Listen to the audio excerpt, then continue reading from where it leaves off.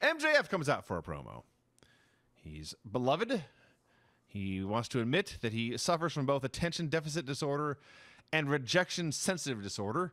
And he explains what life is like with this. He cannot regulate rejection based emotion or disorders. And I, I'm pointing at the screen like Leonardo DiCaprio, like, hey, that sounds all very familiar. Uh, he says, I've been bullied, abused, cheated on, lied to, beaten up. One particularly galling example of this a group of kids threw fistfuls of quarters at him, told him to pick them up, Jew boy. And he did not like this. He learned the world was evil. He had to stab at everyone else before they stabbed him. But that's no way to live. I ended up becoming a scumbag myself. And he said, being hated is easy, being vulnerable is hard. If I opened up and you booed me, I'd be destroyed. But I'm not scared anymore. Now, I'm still a I'm still a scumbag, he notes, but I'm ready to be your scumbag. And the fans are chanting, "He's our scumbag!" And by the end of the show, there already is a scumbag shirt in Burberry pattern available at shopaew.com. One person, he says, taught me that even Max Friedman, the devil, deserves a friend. It's Adam Cole. Adam comes out. Adam says, When we started teaming, I was scared. I didn't know what kind of friend you were prepared to be. But people love you, Max, because deep down inside, there's a good guy in there. MJF says, I know I promised you a title shot. I don't want it to be just a title shot. You deserve more than that. You deserve the main event match and the biggest show we're ever doing. MJF versus Adam Cole at Wembley in All In. And I thought, hallelujah, they've announced a match. A match is going to happen on that show. MJF passes Cole a contract. Tries to get this fan, he tries to get the fans to chant, sign it, sign it. They instead chant, read it, read it. That was awesome. Uh, Cole ignored them and signed. He gives Max the biggest, biggest hug I ever saw. And the very end, he very deliberately spins Max around so Max is back to the camera. And Cole's hug goes from an open hand pat on the back to that closed fist stabbing gesture.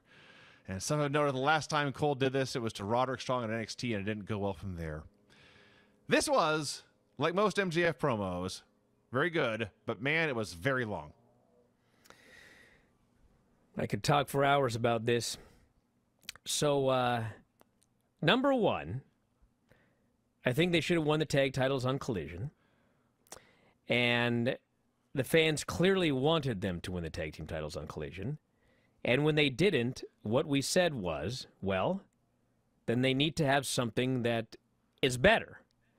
And I argued that I don't think that Adam Cole versus MJF in a singles match is going to have more interest than them as a tag team going after and ultimately winning the tag team titles as a team.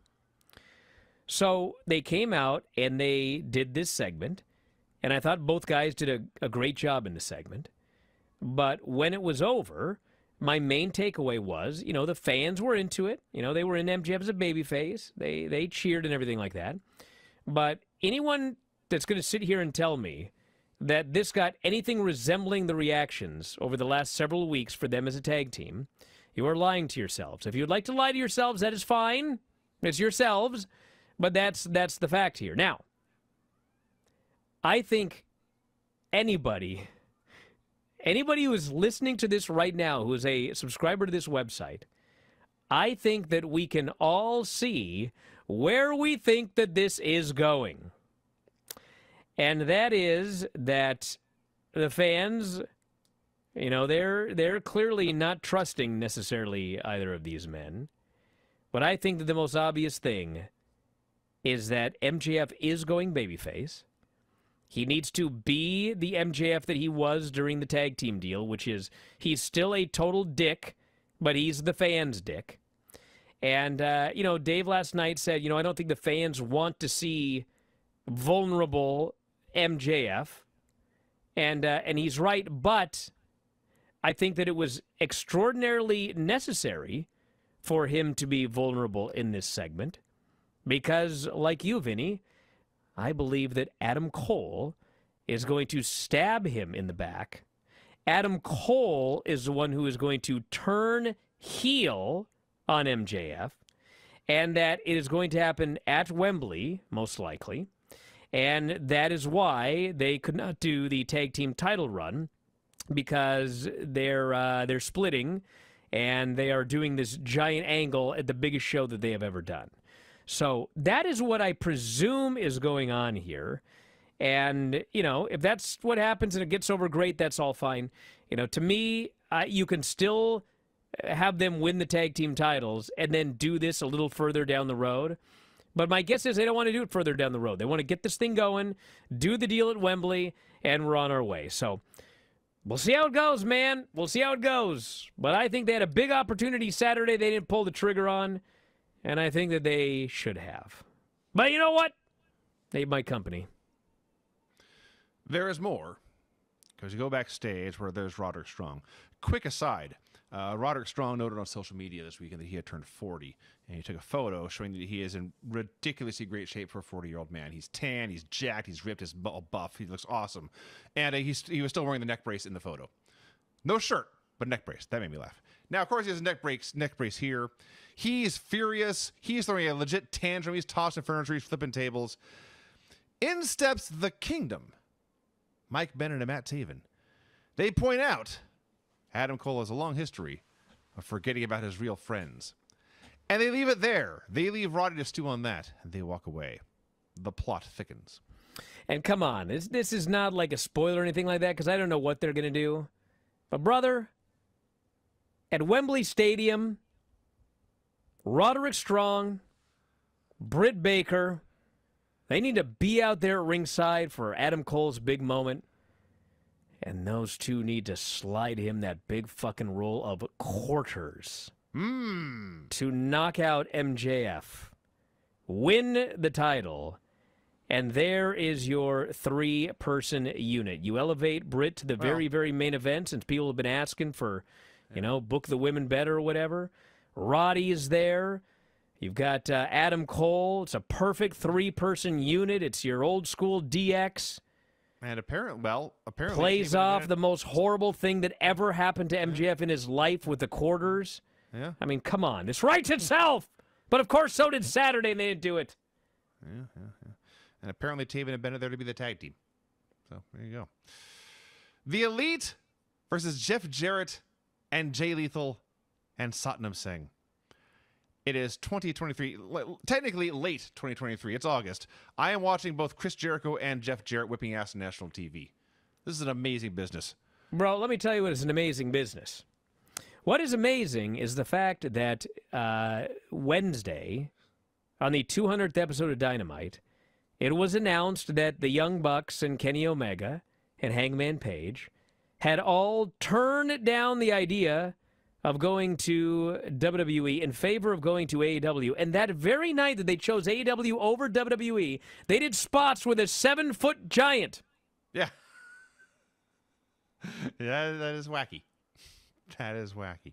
Uh, speaking of the giant, uh, one thing about the Bucks that really, really makes them unique is there anyone ever who is like the top heel and the top face at the same time, but it works because they're babyface tag team and the crowd loves them. but they tag in this big guy. They demand the giant tag in. And then Matt realizes the mistake he has made and just how big Satnam Singh is face to face. He goes to tag out, and Omega and Nick walk out on him and leave him high and dry. Like, as baby faces, none of this stuff should work. But they're so funny, the crowd loves them anyway, and still cheers for them when they make the comeback later in the match. So they do make their comeback later in the match, and uh, they work together to chop down the tree. They super kick uh, Sonjay over and over again, uh, Sonjay Satnam until over and over again until he's uh, down on his knees, and then drop him with a V trigger. Kenny actually tries a one-winged angel on the big man and got him off the ground, and was uh, I mean Satnam had the ropes, but a large portion of his weight was suspended on Kenny's shoulders for a bit there. Sonjay makes a save to put a stop to that. Brandon Cutler sprays uh, Karen at Jarrett in the eyes. Sonjay drops Cutler. The Hardy Boys, who are out there for some reason, kill Sonjay. Jarrett has a guitar, but he gets buckshotted by Hangman. And finally, the V Trigger and One Winged Angel finish and pin Jay Lethal.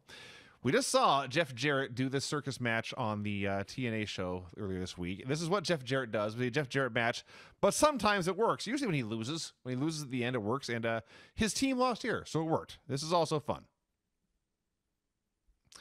I was amazed at what I saw in this match.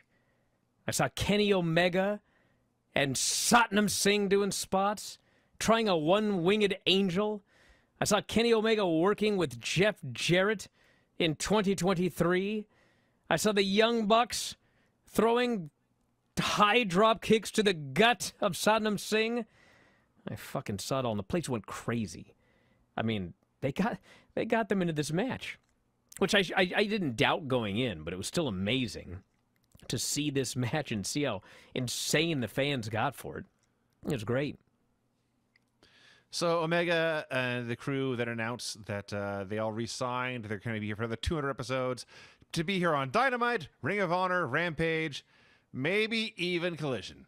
And the crowd goes crazy for that. And he does his goodbye and goodnight deal. All right, Granny, let's get moving here.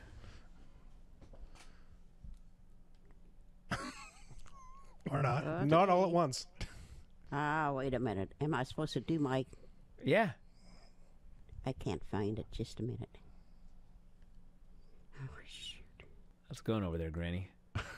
I'm, I'm getting it. Okay. Did we catch you off guard with our Tuesday night show? Why'd you read another question while we're waiting? Well, I closed the Facebook. Let's see if I can uh, dig it back up here. I'm ready. Sean, I Okay, can't believe mind. the faith you have in Vinny to this day. All right, well, never mind. Absolutely incredible. Go ahead, Granny. It's been how many years? what is happening on this show?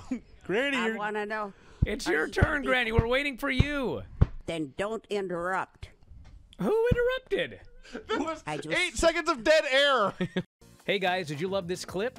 If so, you should join our channel. Just hit the join button and you'll have full access to every single show that we do Wrestling Observer Live, Wrestling Observer Radio, The Bryan and Vinny Show, all of them in full HD, full length, plus archives of all of your favorite shows. Click join today and don't miss out.